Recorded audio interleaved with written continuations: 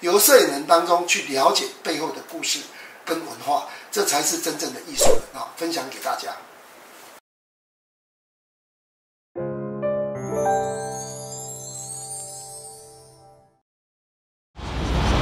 Hello，各位好朋友，大家好！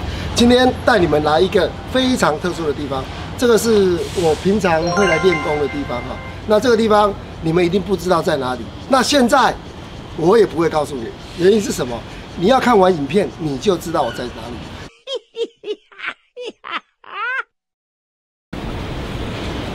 我们进去猫村一定要注意的几个要件，先跟大家讲一下。因为猫村这个地方是属于比较诶乡下的地方哦，那诶这边比较潮湿，所以说就会有蚊虫比较多，所以大家要记得要带防蚊液。除了这之外，还有一个地方，这个叫什么？大炮。拍猫一定要大炮，你要知道这边的猫跟一般的猫不一样哦。这一边的猫会偷看你，它会跑的，它不是不会跑的，哦它跟活动的猫是差很多。来这边必备的就是长焦镜头。那长焦镜头我们要知道一点，在这边长焦镜头手持的情况之下，我们必须怎么样呢？必须要高速快门。所以建议大家在猫村拍照，第一个你们要注意什么？记得带长焦，还有把你的相机设定为 TV 模式。什么叫 TV 模式呢？就是我们所谓的 S 模式，快门优先模式。你把 TV 模式设好之后，把速度放在五百分之一秒或两百五十分之一秒，你手持才不会震动。记得把防走震打开，哦，把防走震打开，我们就可以开始来拍猫了。那进来猫村，这个是猫村的入口。等一下你会发现很多猫在迎接你哦。我们今天要拍的是特殊的。机器猫小叮当，漂亮的猫来呈现给大家。走，我们进来看看吧。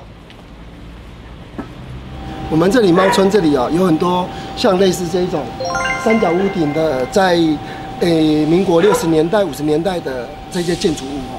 那这个是我在拍主流作品当中非常重要的一环，就是所谓的大景、广角景哦。你们看一下这个三角形这个屋顶，还有屋顶之外有那种小窗子，是非常漂亮。再配上这样的蓝天。是非常好的。那记得来猫村拍照，尽量选择什么时间呢？选择下雨过后的黄昏，比如说在四五点的时候。为什么呢？因为猫村的这有一个特性，这些的猫一定在下雨过后的时候，四五点的时候，它会出来觅食。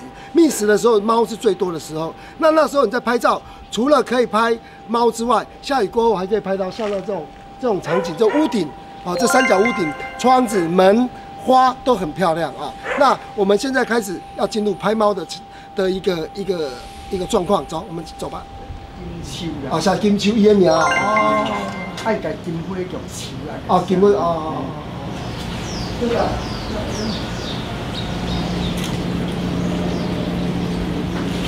不像猫圈的镜头，这里有猫，你看。这只这只猫比较肥一点，是吧？眼睛都张开了啊。猫很笨。对对对，这只猫，这只猫比较不怕的，这只猫可能是家养的，他们这一家养。哦，这只猫很漂亮哦，这只猫。在偷看我这只猫。哇，这只猫跟老虎一样，很漂亮。这边的猫哦都很怕人，它都偷偷在看你，所以你在拍照的时候你要特别小心，慢慢慢慢跟猫一样的速度走进去，走过来就赶快拿起快门就赶快拍，高速快门拍它。拍它的时候，你可以做个动作。我常常会这样子，就嘘，猫好像会马上回头来看你。那回头看你的那一瞬间，就是你按下快门的瞬间，这是最自然的猫。猫如果不怕人，就不好看了。就是要拍那种神秘又想偷看你的那一种神情，这才是拍猫的精髓啊。那这里都是猫，我们刚刚进来已经看很多了哈。那这里有一只保护色的猫了。你刚刚偷看我都没看到，我在拍你哦哦，来，来下巴抬高一点 来，哇，这只猫真漂亮，这只猫，哇，你看那个猫，这个黑白猫，你有保护色，所以我刚刚没看到你。来，这边的猫很自然，你只要你只要不要去去欺负它，它基本上都会很配合你，偷偷的看你，这就是我们要泡的猫。那。这样子的猫才会符合我们要的那种神秘感啊！像你看这只猫，它现在这样子，你看回头看你有没有？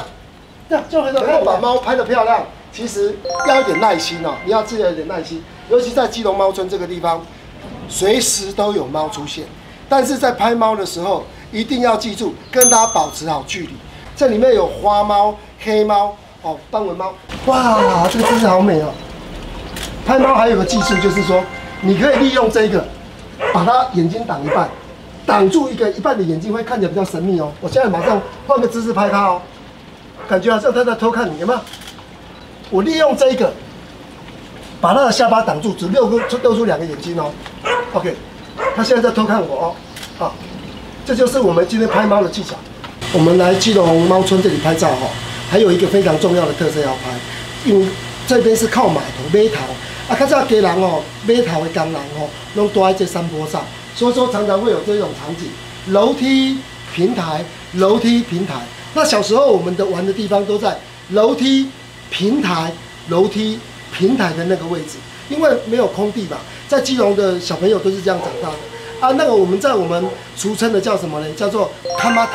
什么叫看马塔？就是楼梯平台的地方叫做看马塔。那小时候都在那边玩耍啊。那今天这个也是我们猫村整个的拍摄的重点。除了拍猫，那拍人文之外，我们要来拍一下这个我们里面的巷弄文化。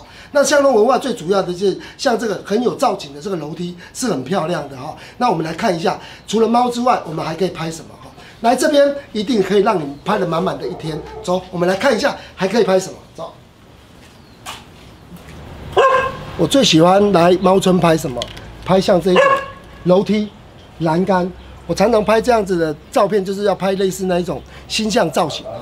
那这边的楼梯都是那种蜿蜒、蜿蜒，一层再一层啊。那这个也是非常拍好拍摄的一个题材。这个像这种照片用广角镜去拍。那个栏杆的夸张度跟楼梯的那个阶梯感是相当强烈的啊，这就是摄影作品当中所谓的张力，摄影的张力，在这边可以看到很多的栏杆，更多的楼梯，那这些都是一些好作品的一个表现，张力啊，张力，这张力非常重要啊。那这种作品在这个猫村是随处可见，这个猫村除了楼梯蜿蜒之外，还有门窗都是相当有特色的哦。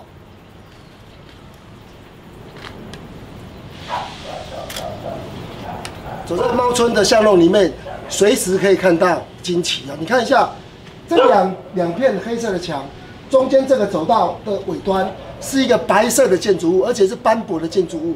那斑驳的建筑物又加上蓝色的窗框，加上那个斑驳的墙面跟一个瓦斯桶，这整个画面就非常非常的有艺术的那一种气息在。那其实很多的作品当中，都在生活中的不不经意。不用去刻意去营造一个作品，反而是越简单越生活化的才是好作品。那这张作品在整个画面当中，整个猫村的行程当中，是一个非常经典的，就是比较有跳动、比较有突出的这样的一个构图作品。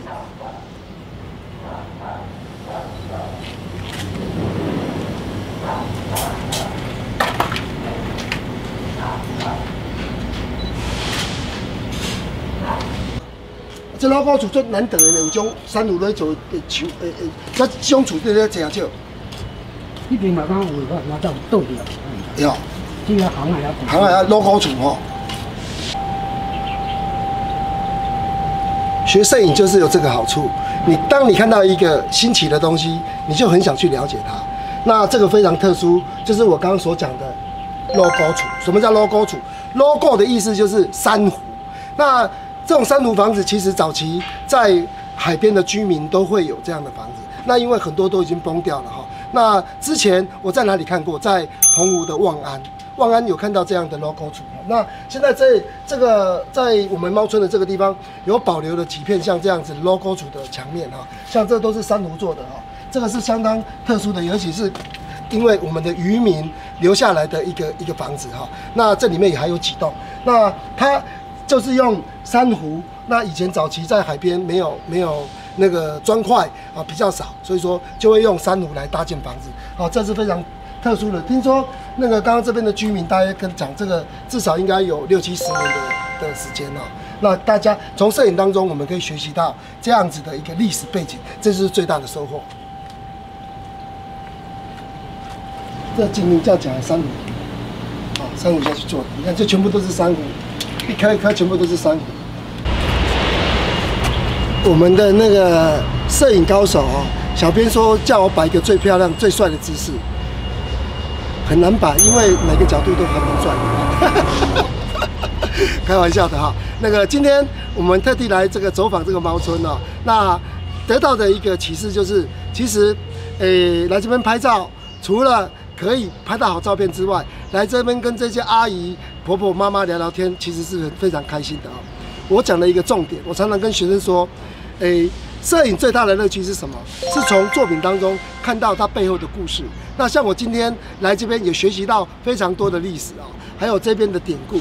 那基隆猫村是一个非常棒的地方哦。你们有看到最后面，我就跟你讲在哪里，在我们基隆中山三路的仁安路，就是在基隆的仙洞岩的旁边。哦，有看到最后的人才能可以看得到。那记得看完之后。要把我的作品分享一下，再点阅一下。那我未来下一站都去哪里呢？不告诉你，慢慢看就知道。下一次我们再见喽。